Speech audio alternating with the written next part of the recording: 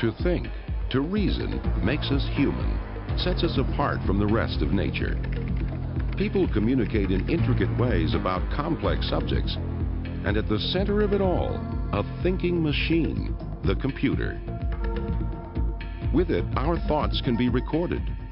What once seemed impossible now seems commonplace. Today, computers are capable of amazing tasks that boggle the mind. But the evolution of a thinking machine, a computer, engaged some of the greatest minds of the last two centuries.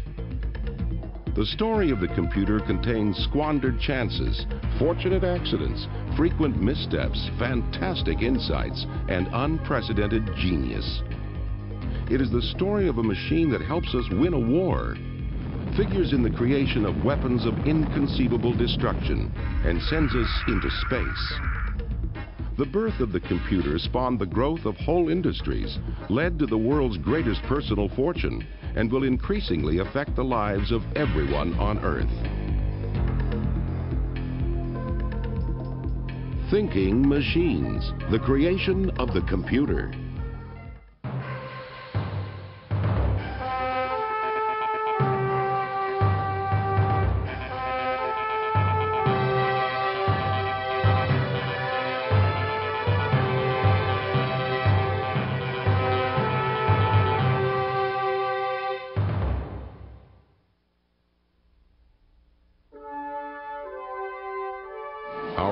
Is increasingly filled with countless wonders that would not have been possible without one machine, the computer. Although computers are enormously intricate, their most basic components consist of simple devices that can be switched to either one of two states, on or off. The computer creates its magic by calculating with a speed and accuracy that far surpasses its human inventors. Computers stagger the mind with their complexity. But simply put, a computer takes information, processes it, and then outputs a result. It's all done with a unique partnership of hardware and software. Hardware comes in boxes. They're the physical components, such as the monitor and hard drive. Software comes on disks. Software consists of instructions that tell the computer what to do. One way to start this computational partnership is to type on the keyboard, providing input. The input is picked up by the Central Processing Unit, or CPU, the computer's brain. Using instructions provided by software, the CPU processes the input. The magic behind the CPU is its blinding speed. Modern processors are measured in MIPS, millions of instructions per second. While processing, the CPU may retrieve data stored in random access memory, known as RAM, or data stored on a hard drive. Modern RAM is so quick that every second it can send the equivalent of 10,000 typewritten pages of information to the CPU. And modern hard drives can store the equivalent of 250,000 pages of typewritten material. After processing, the CPU outputs information, often on a monitor. The whole procedure is usually so quick that it appears instantaneous. Today, computers are so commonplace we take them for granted. But not long ago, computers only existed in the imagination of a few visionaries. The search for machines that could figure quickly and accurately has seized the human imagination for thousands of years. In fact, the computer's family tree has roots so deep in the past, it's impossible to know exactly where they begin.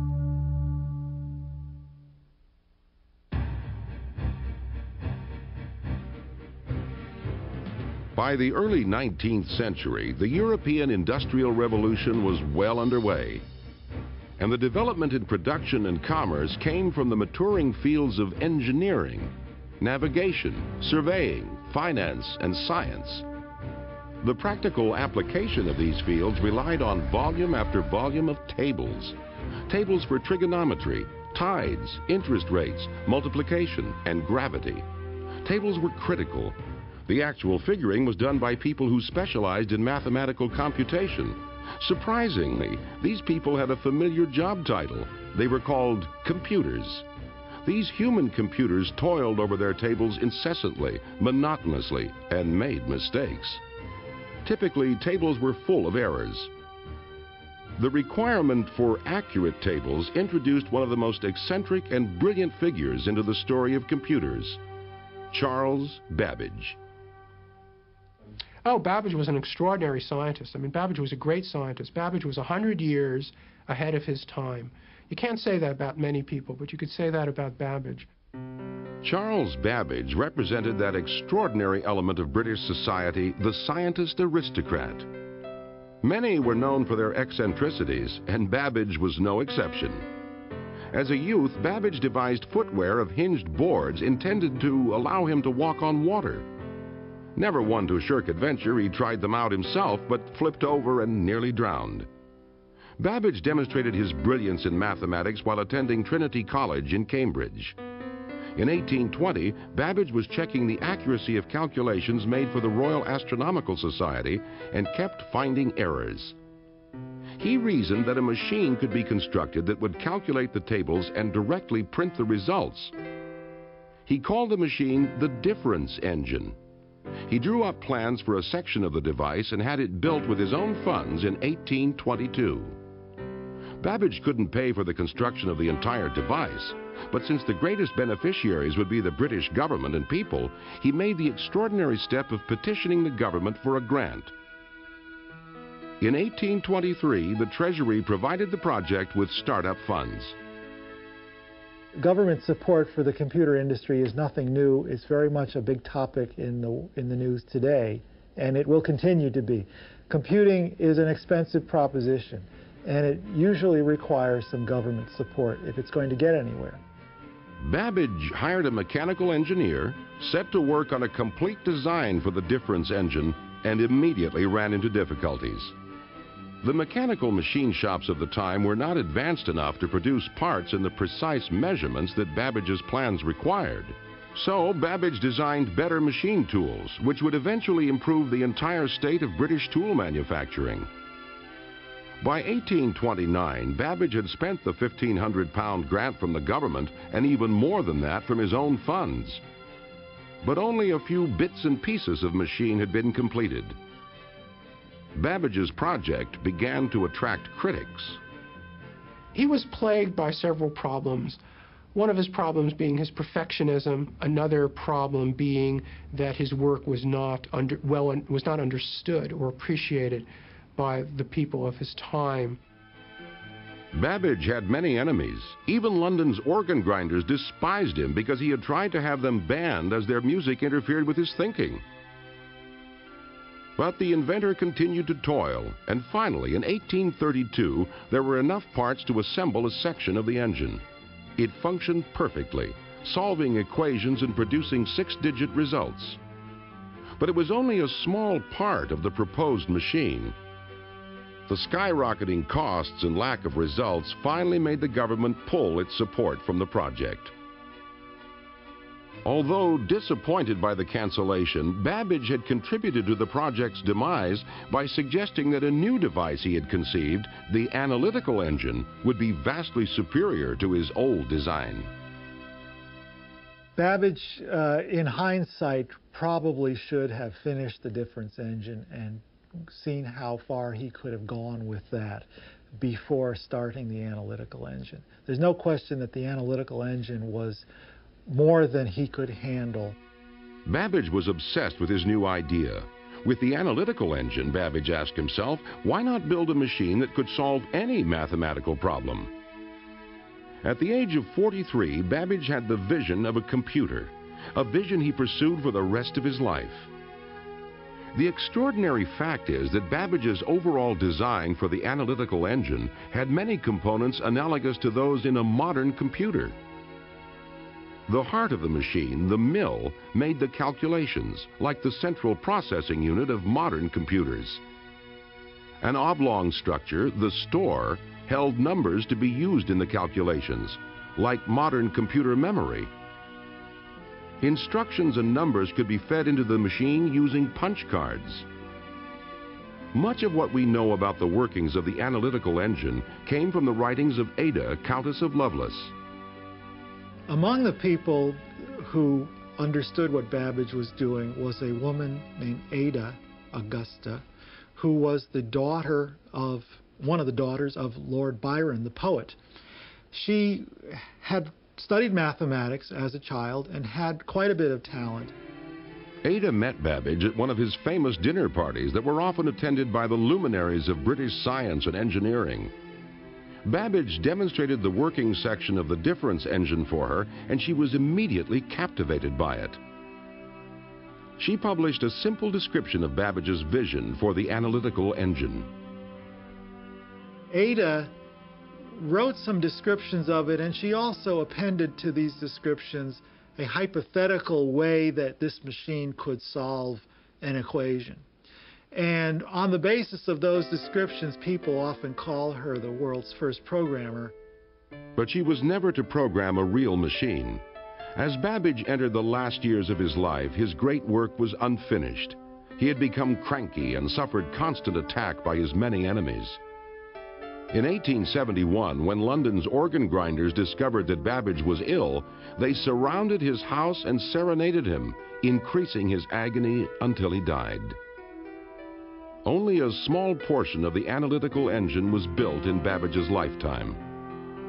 Babbage's vision of the computer fell into obscurity, and except for the detailed texts left by Ada, could well have been forgotten.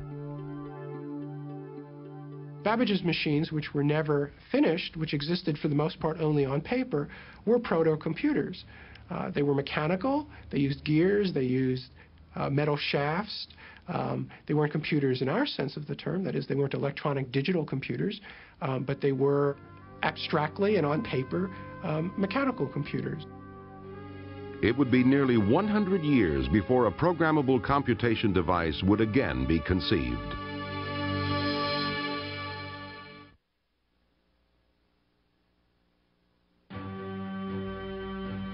In the late 1800s, the idea of a programmable computer was a distant dream. But the American dream was becoming a reality. America was on its way to becoming the world's greatest industrial power and opened its arms to immigrants from other lands. In the second half of the 19th century, America's population increased 35% each decade. America's exploding population began to endanger one of its great institutions, the American census. The census, which is required by the Constitution to be held every 10 years, was still being done by old-fashioned people with mark, making check marks on pieces of paper, and it simply couldn't keep up with the tremendous surge of uh, population in the U.S. The crisis reached a head in 1887 the Census Bureau was still hand tallying the data from the 1880 census. Desperate for relief, the Bureau pleaded for any method that could speed up the counting of the 1890 census. The superintendent of the census had proposals for three systems, so he decided to stage a contest. Two of the systems relied on hand counting.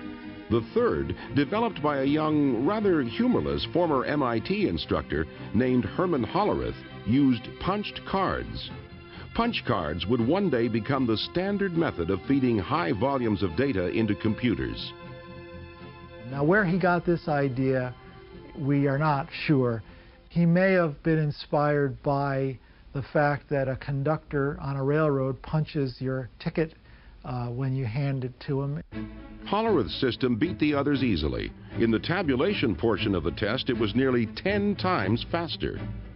The Census Bureau leased 56 of Hollerith's machines at $1,000 a year each and put them to work in July 1890. Census Bureau clerks used Hollerith's machines to punch the cards and then tabulate the results.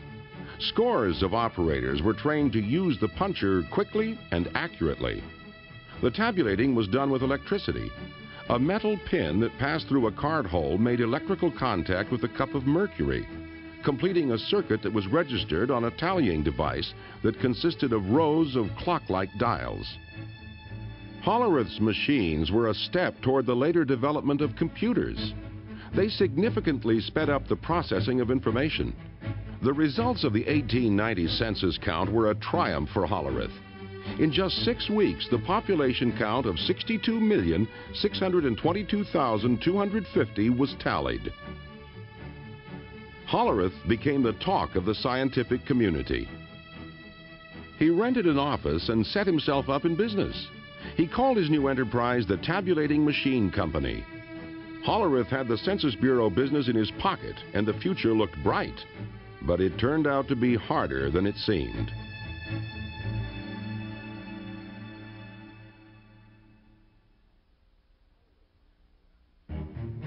Hollerith's natural aptitude for mechanical devices was obvious, but he also proved himself to be a dogged businessman. He drummed up business among one of the biggest industries of the day, the railroads. With the increase in population and the push west, the railroads had grown into enormous organizations with personnel, stations, cars, and customers scattered all across the country. Hundreds of clerks produced tons of paper to help track and manage these vast empires. Hollerith convinced the New York Central Railroad to try out some of his machines. The experiment wasn't a success. Hollerith's machines could compute fast enough for census work, but couldn't keep up with the speed and volume of the railroad business. After three months, the machines were removed. Hollerith was short on capital and faced ruin. He moved his family into his mother-in-law's house. He sold his assets, even his horse, to raise money to redesign his machines, to improve their speed, reliability, and ability to make additions. Hollerith even customized the punch cards for business computations, such as adding columns to store dollars and cents. After a solid year of tedious work, Hollerith returned to the New York Central and offered them free use of his new, improved, and faster computing machines for a year. Within three months, the railroad was convinced and contracted to lease the machines. The tabulating machine company was back on track. Hollerith had avoided bankruptcy and now had more work than he could handle. And Hollerith, you could say, came along just in time. It was a combination of his invention making this available, but also the need out there required something like that. So it was a convergence of the social needs or the social factors on the one hand and the inventiveness sort of pushing from the other hand. But Hollerith was weary. He was diagnosed with a bad heart and ordered to slow down. In 1911, Hollerith sold his shares in the tabulating machine company for over $1 million. Hollerith's former company was merged with three others and led by master salesman Thomas Watson grew into a major supplier of business equipment. In 1924, Watson renamed the enterprise International Business Machines, IBM. Because of Hollerith, the name IBM would become synonymous with computers. By the 1930s, as America limped out of the Great Depression, companies like Burroughs and IBM foresaw continued growth and success.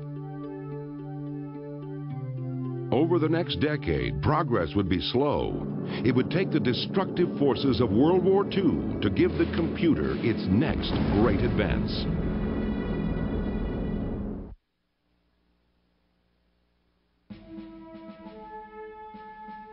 World War II spurred the development of the true computer. And in the turbulent days before the German blitzkrieg smashed Poland, a young Polish engineer walked into the British embassy in Warsaw and made an astounding proposition. He offered to sell the British the secret to the unbreakable German code machine, the Enigma. The British desperately wanted to crack the Enigma machine, used by German commanders to encrypt their most secret military radio messages. Radio is a wonderful piece of technology, but the very uh, beauty of radio, the fact that you broadcast messages out, makes it very uh, bad for military traffic because the enemy can read your messages as well as the person you intended uh, to read. So uh, you encrypt the message. British intelligence supplied the engineer with a fake diplomatic passport and smuggled him out of Warsaw. While guarded by French agents in Paris, the engineer provided details on the code machine's ingenious operation. In the Enigma, plugs were rearranged to conform to that day's codebook combination. The power of Enigma was that this plug arrangement constantly varied how letters were coded throughout a transmission. The number of letter variations was astronomical, so high the Germans considered their code machine to be unbreakable. But the British now knew how the machine worked. They realized that they could very quickly try different key combinations on a small part of the code. Then, when that small part was broken and the key revealed, the rest could be decoded effortlessly. North of London, at a secret installation in Bletchley Park, British codebreakers built a computer-like machine to do just that. Colossus. Colossus used over 2,000 vacuum tubes to process 25,000 characters per second. Colossus could only do one job, but it could compute very quickly. Its deciphered German transmissions were called the Ultra Secret, the most closely guarded secret of the war. While the British were now able to read German messages, the question was how to take advantage of the secrets without tipping off the Germans that their code had been compromised. The most senior Allied commanders were privy to ultra material, but had to exercise caution in reacting to it so as not to tip their hand. Ultra information was never revealed to anyone in a position to be captured by the enemy. Field commanders often went into battle lacking information on the enemy that was known to their superiors from ultra dispatches. This secrecy may have also kept Colossus from prominence in the history of computers. While Colossus was breaking German codes, across the Atlantic another computational device was under construction. The machine which would directly influence the design of all future computers was being built in Philadelphia.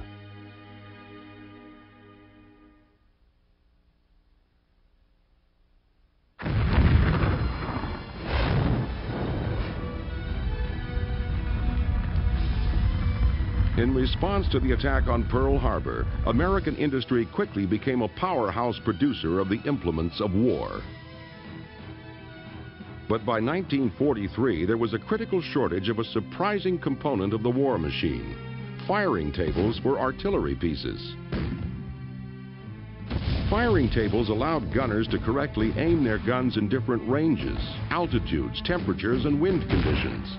To calculate these tables required enormous uh, numbers of calculations, which at that time were done by human beings.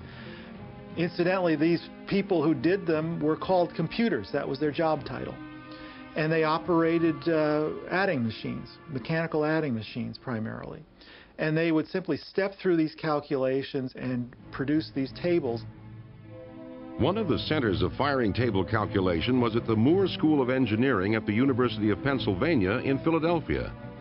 Midway through the war, it became clear that the tables could not be produced fast enough. This was a crisis. Without tables, new guns could not be shipped to the troops overseas. To break the bottleneck, a Moore School physicist, John Mauchly, made a fantastic proposal. He suggested that he could build a giant electronic computer that would be able to figure a single trajectory in 100 seconds. The Army, desperate for a device to help them win the war, reluctantly committed to the proposed cost of half a million dollars. Mauchly and a brilliant graduate student in electrical engineering, Presper Eckert, set to work constructing ENIAC, the Electronic Numeric Integrator and Computer. Driven by the knowledge that friends and relatives were dying in battle while they worked in Philadelphia, the team of young engineers toiled incessantly. But could they create such a monster? Everything had to be invented from, from square one. And then they had to build it, and then they had to test it, and they had to put it all together and make it work reliably. And then they had to learn how to program it. Nothing close to ENIAC had ever been conceived. Nearly 100 feet long and weighing 30 tons, it contained almost 70,000 resistors, 10,000 capacitors, 6,000 switches, and 18,000 delicate vacuum tubes. Vacuum tubes burn out just like light bulbs. In a machine that contained 18,000 vacuum tubes, it was likely that at least one would always be burned out, crippling the machine. Presper Eckert found the key to making ENIAC function. He had the vacuum tubes built to high tolerances. He critically tested them, and then he ran them at low power. If you took these measures, you might be able to get the machine to work for 10 minutes, half an hour at a time. Uh, since the machine calculated so quickly, you can get a lot of work done in a half hour. And so that's what happened. After two years of intense work, ENIAC was complete, a few months after the Japanese surrender. Although it wasn't finished in time to help win the war, ENIAC was a marvelous machine. Huge and hot, it could perform up to 5,000 additions, 357 multiplications, and 38 divisions every second. By far and away the most complex machine of its time, ENIAC still lacked many of the qualities of a modern computer. Its memory was very primitive. It had to be laboriously rewired each time it was programmed and couldn't make logical decisions based on its calculations. But with tremendous expenditures of time and money, ENIAC had proved that computers could be constructed. However, except for arcane scientific calculation, did anyone really want them? The question lingered, could anyone build a really practical computer?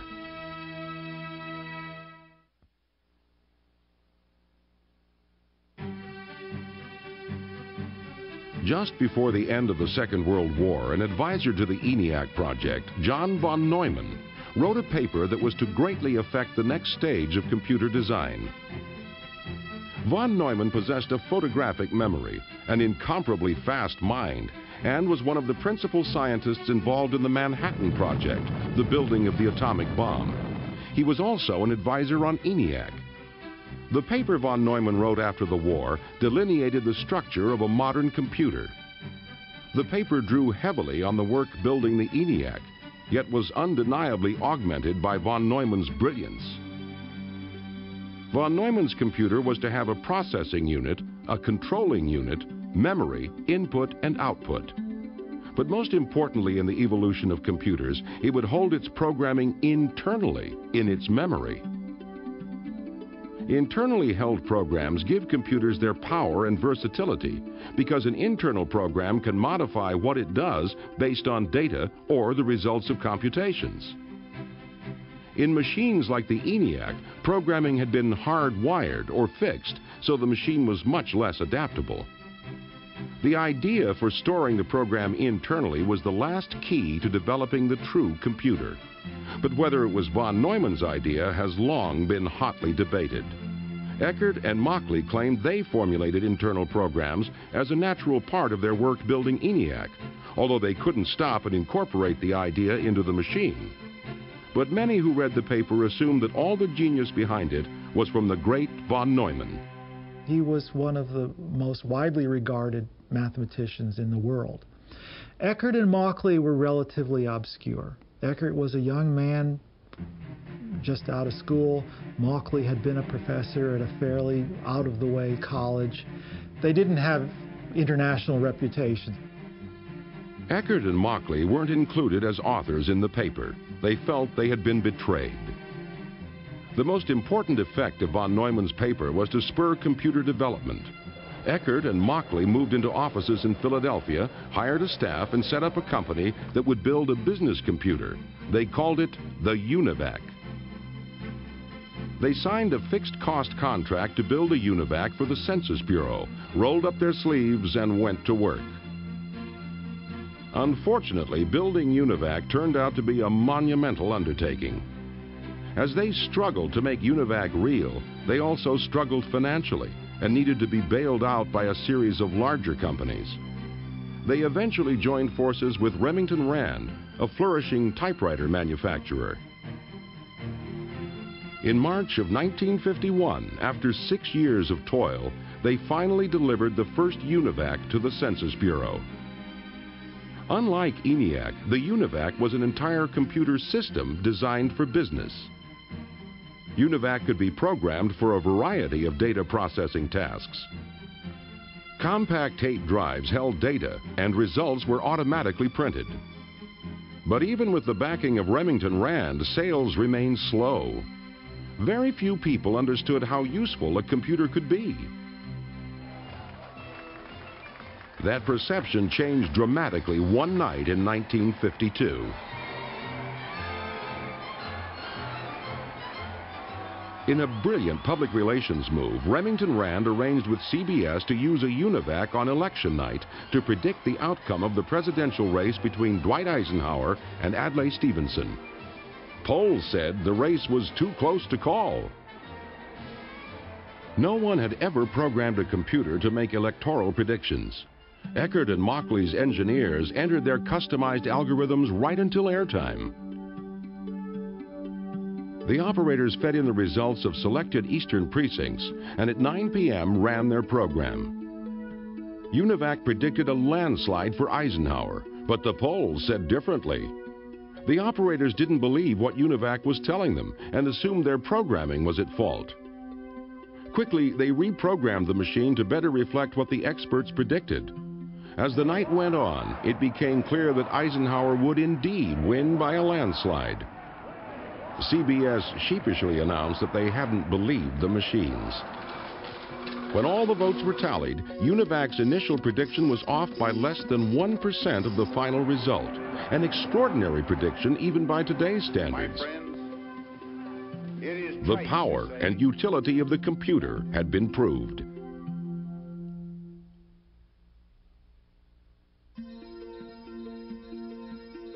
After the success of UNIVAC, various companies began to see a future in computer development.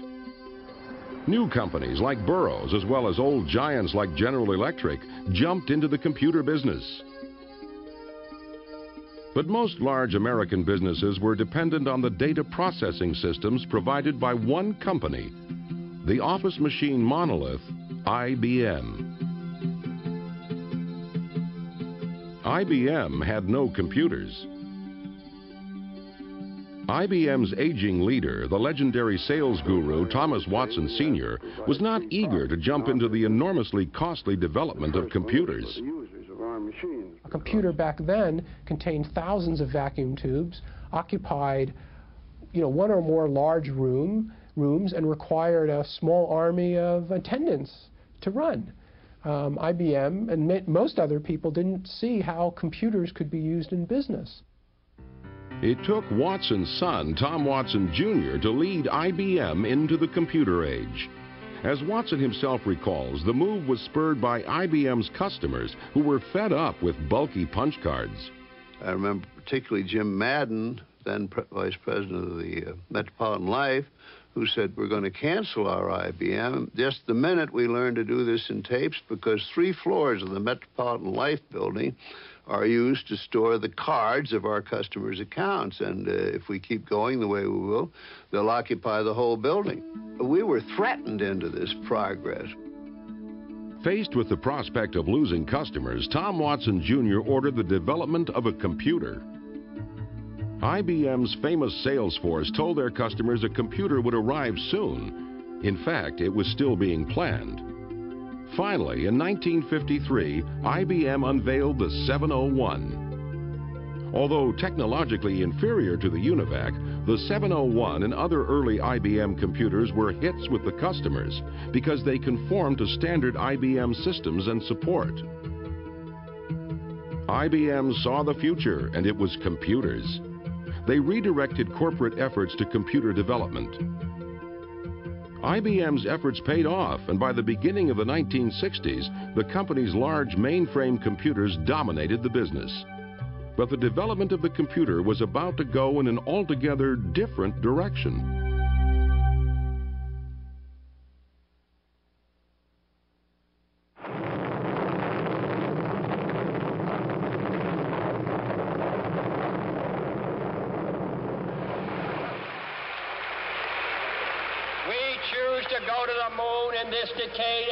Other things, not because they are easy, but because they are hard. In 1961, America was trailing Russia in the race for space.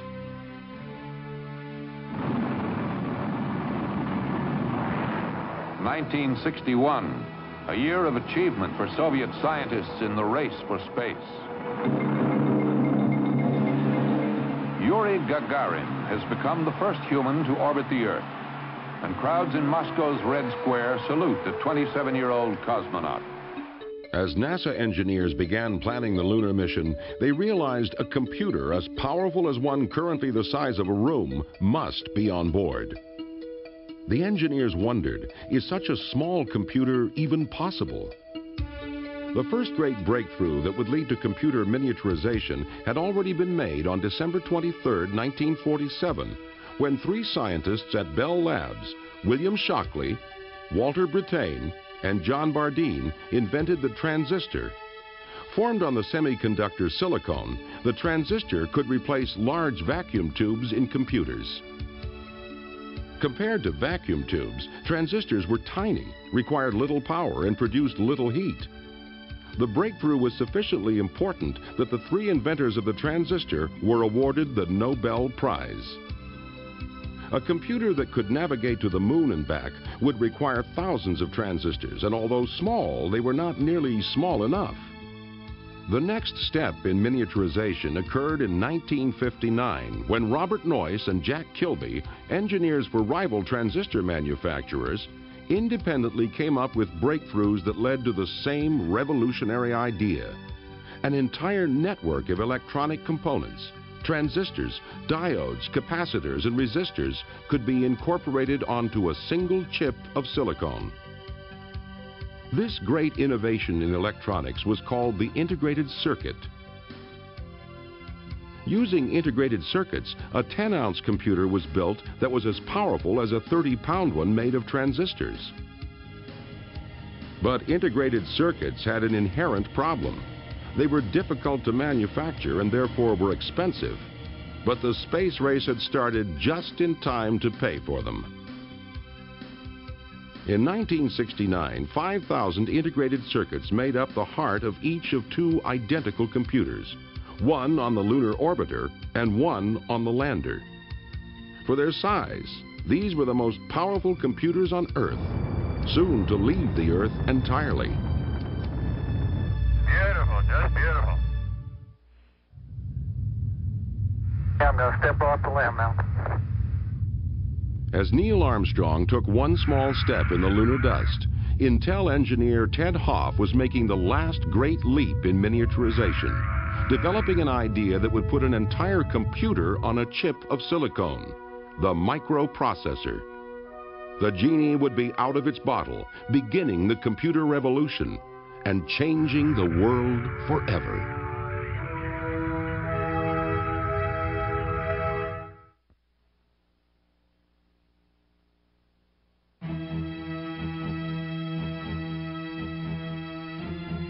Okay, Houston, we've had a problem here. Apollo 13, intended as the third lunar landing, had just lost two fuel cells and was venting oxygen into space, 200,000 miles from Earth. Soon, the second oxygen tank would begin losing pressure. The astronauts would die unless they could precisely align their spacecraft and fire their rocket to slingshot themselves around the moon and back to Earth. Critical to the alignment was Apollo's state-of-the-art guidance computer, a new trajectory was figured. The all-or-nothing rocket firing was made. The Apollo 13 crew miraculously returned to Earth with the help of their small and powerful computer. By the last Apollo mission, two and one half years later, computers as powerful as those on Apollo would be available to everyone. That was because soon before the Apollo 13 flight, an engineer at Intel, Ted Hoff, had come up with an ingenious idea. Hoff had been told to design 12 separate integrated circuits to make a Japanese pocket calculator. He suggested placing the entire processing unit on a chip and programming it just like a computer. Intel developed the idea, and by 1970 they had a working model of a microprocessor. It was the invention not just of integrated circuits, but of a particular kind of integrated circuit, the microprocessor that makes today's personal computers possible. Smaller than a fingernail, a microprocessor contains many of the components of a computer, including a control unit, a clock, and areas where data can be stored and modified. Processing power was about to become very cheap and very compact. In the mid-1970s, two friends, Stephen Wozniak and Steve Jobs, were manufacturing a small computer in a Palo Alto garage. Steve Jobs was a college dropout, but he was a college dropout with a difference. He was very intelligent, he had a lot of street smarts, he was also extremely ambitious. I think perhaps more important than that, he knew the other Steve, Steve Wozniak, had created something exceptional. Steve Jobs sold his Volkswagen, and Stephen Wozniak sold his HP calculator to finance their company that would revolutionize the computer industry. Jobs trekked all over the San Francisco Bay Area to find buyers for the $500 machine, which they called the Apple I. The Apple I was large and unwieldy. Jobs realized they needed a new design for a computer that anyone could use. Wozniak began to build the Apple II. The fate of Apple changed dramatically when, in the fall of 1976, a visitor to Wozniak's garage saw the prototype of the Apple II. The visitor was Mike Markkula, who at 32 had retired from Intel as a millionaire. He was so impressed by the Apple II that he joined Apple and put it on a sound business footing. The Apple II was introduced to the public and sales skyrocketed. But in 1978, even with the success of the Apple II, using a computer wasn't easy. The early Apple computers, as well as all early personal computers, did not have graphical interfaces. They didn't have mice. Um, they had what's known as a command line interface. That is, you typed instructions into the computer and your instructions appeared as text on the screen. A simple-to-use computer had been conceived by a computer scientist named Doug Engelbart. He demonstrated his vision in 1968 at the Fall Joint Computer Conference in San Francisco. If I hit W, it'll say delete word. The arrow moves back and forth to give me feedback. Wielding a keyboard and a pointing device he called a mouse, Engelbart worked with a computer 30 miles away, linked by microwaves, and demonstrated word processing and hypertext. Many in the audience went home inspired, but one group alone was to fulfill Engelbart's vision. That group was just down the road from San Francisco at Xerox PARC. In 1970, Xerox dominated the copier industry, but thought the future might be in computers. A young Xerox executive, Robert Taylor, worked with a team to transform the way the computer industry was perceived. As Robert Taylor himself remembers, the chairman of uh, Xerox at the time, Peter McColough, made a speech where he, he, he said that, that Xerox was uh, going to become the architecture of information. So I asked his speechwriter uh, not too long after that, what, what did that mean? Because I had an idea about what it ought to mean and so did some other people. And uh, the speechwriter said, well, he didn't really know, but it's a ringing phrase. And so I said, well, we're going to make it happen. Robert Taylor hired many of the country's top computer scientists and challenged them to create an easy-to-use personal computer. The result was the Alto, which incorporated many of the innovations in personal computers we take for granted today, all developed at Xerox PARC. The Alto used a mouse, a graphical interface, built-in networking, and printed on a laser printer. Xerox developed the Star, the commercial model of the Alto, but it never sold well. Xerox was a large and very successful photocopier company, and it didn't really understand computers, didn't appreciate the brilliance, the originality, and the enormous commercial worth of the computer developments at Xerox PARC. But Steve Jobs did.